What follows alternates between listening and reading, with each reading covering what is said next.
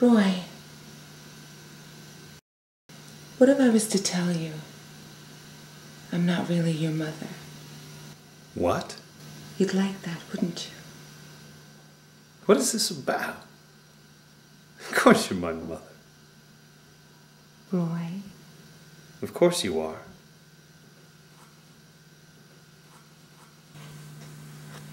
Roy,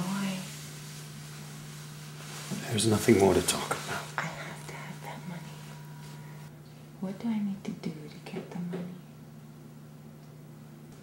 No, won't you change your mind? Isn't there something I can do to change your mind? Lily.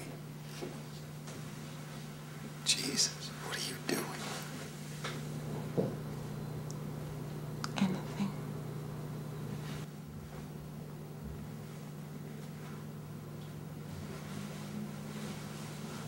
No!